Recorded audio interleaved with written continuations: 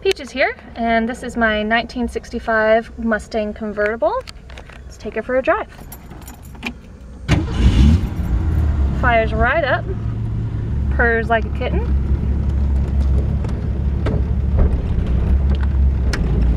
This has been a super fun car to drive around town this summer. Drives really good, very reliable. Drives straight down the road.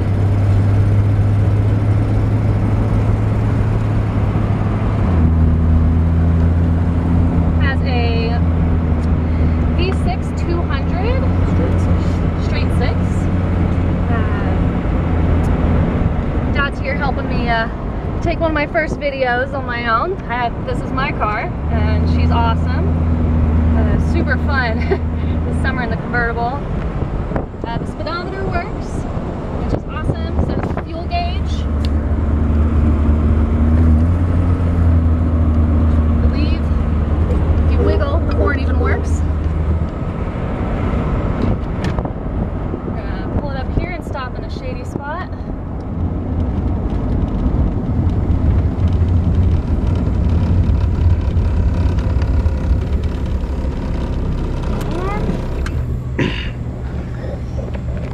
I'll pop the hood for you. She's beautiful.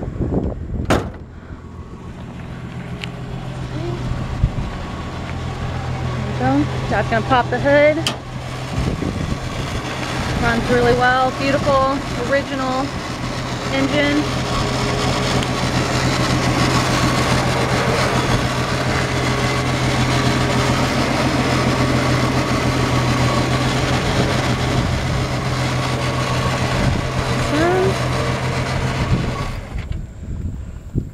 So I got this one from a friend um, and it is a really good driver. We put the stripes on the side, makes it just look really cool. It's got nice uh, newer tires, brand new tread. The Mustang wheels on there. Uh, the paint is in pretty good condition. It does have a few chips here and there. There's a couple of rust places, pretty minor, but there's some uh, rust on the side of the door here. Here, before we go, keep on going. Like clutch shut the head, but first, show the inner fender wells are in great shape. Firewall. no, no rust under the hood. There's a few little typical uh, Mustang rusty spots on this car. It's no, it's definitely no rusty bucket or, or whatsoever. It's a nice. This is a nice dr- driver quality vehicle. This is what we like to call a 20 footer.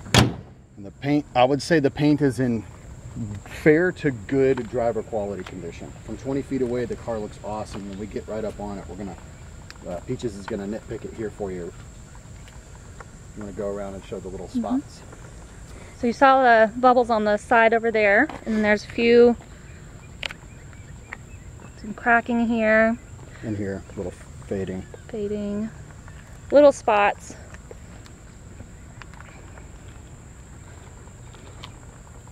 Body lines are very straight for a Mustang. Uh, I would say original style body lines. The door door lines never lined up, even from the factory. But uh, this is a very straight car. And uh, if you wanted to repaint it, which if I was keeping this car, I wouldn't repaint it. I would drive it just like it is. The only thing I would do to this car, if it was mine, is I'd replace the radio because the little knobs are. It's just an older one of those repop style radios and uh, I'd put a stereo in it and I'd drive it. There's nothing else to do to this car. It runs awesome. It's super, super reliable and easy to drive. So.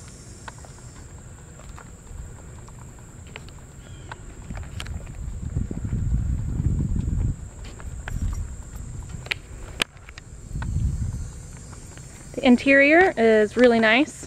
It's got the pony, red and white. Has a few little things here and there. Got a little tear right here on the driver's seat. Um, besides that, it's in really good condition. The dash looks nice. Yeah, whoever cut the carpet when they installed it unfortunately botched it just a touch. I thought about maybe just, you know, putting a little plate underneath it. But actually, the and the carpet looks awesome. The new carpet kits for these run only about $120. So mm-hmm. worst case scenario, you could just actually throw a brand new carpet kit in it. but again, it's a driver and it looks awesome, especially for the price. Right now, these Mustangs are just getting outrageous, and it's hard to find one. I'm having a hard time finding something that I think is a nice driver for under thirty thousand dollars. So this falls in that category of a nice looking driver.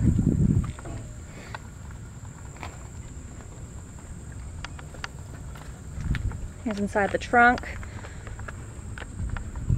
It's got the original style little padding in here, the spare. Looks pretty clean underneath. Yep, nice solid trunk pan.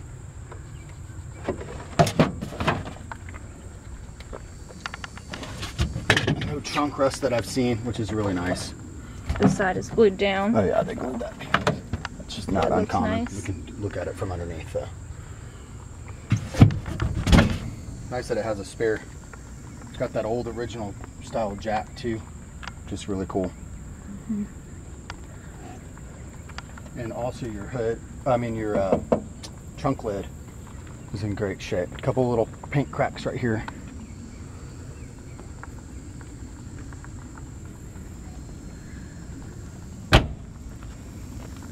Like we said, in pretty good condition. A little bit of rust here and there, but nothing super You showed the bubbles uncommon. on the door on the other side. I did. I got the bubbles over there. Show underneath here. I would say I would call this a very minimal rust car, but I couldn't call it a rust-free car. There's a couple of spots. We have a little bit right up in here, a little surface. And there's The rockers look solid. The inner fender wells are all nice and solid. Floor pans look really good. Just those couple of little rust spots. Which actually could be repaired quite easily. Uh, super, super simple spot there that Peaches just showed.